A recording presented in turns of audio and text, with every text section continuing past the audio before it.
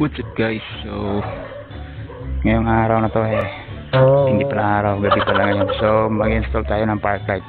So, ito yung binili kong park light guys. So, ito yung nabili kong park light guys. So, may ano siya, may remote. So, multicolor LED system. And, subukan natin to sa ating Aero. So, nabili ko siya sa halagang 190 bago natin nilagay yung park light so tuturuan ko muna kayo paano gawin yan. So paano tanggalin? So dito lang yan guys. May parang iti-twist lang tayo dito sa ilalim. So ayan. Dito may iti-twist lang tayo dito guys. Saka dito rin sa kabila. Dito may iti-twist lang tayo dyan para matanggal siya.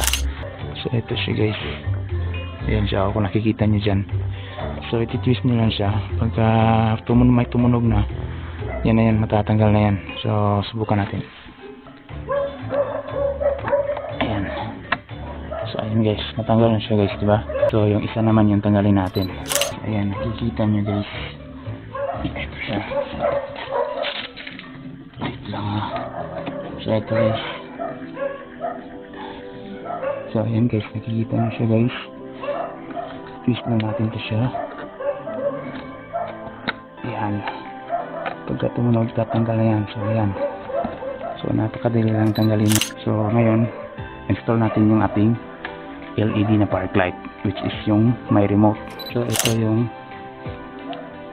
pang replacement natin na park light, guys. So, multi color LED siya, guys. And then, nasa may remote controller siya.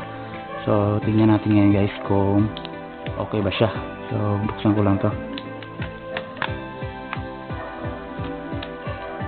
So, nabili ko lang to sa halagang ano guys, 190 pesos.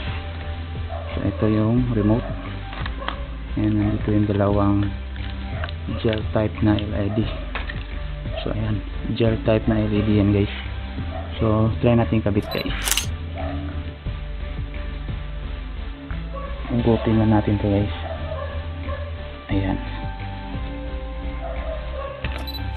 Try natin kung gumagana ba talaga yung remote.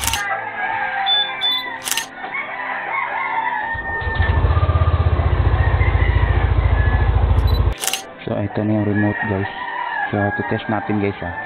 So, yung pag gamit ng remote guys, eh, kailangan malapitan talaga ang ano guys, i-remote. So, kunyari itong red.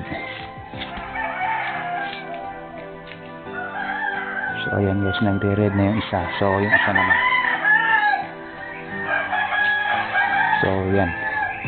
Red yung pinindot natin. So, yung green naman. So, ayan guys. And then, blue.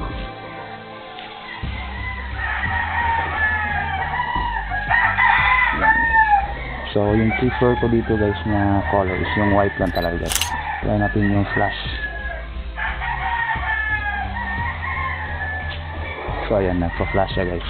Alam naman natin bawal yan guys. Pero, sarap yung bawal. So, pag may mga checkpoint guys, eh, huwag nyo yung gawin guys. Lalo na pag may LTO at saka HPG. So, ito, yung strobe. Try natin.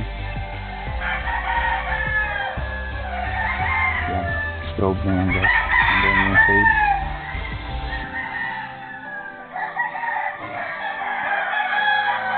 And then yung smooth. Try natin yung smooth. Yan, parang blinker lang din yan. So, ito rin guys, eh, pag-adjust ng brightness. So, that's it guys. Ah, yan na yung siguro guys. And then, abangan nyo na lang yung susunod na mga upload ko. So, that's it. Balik na natin sa white.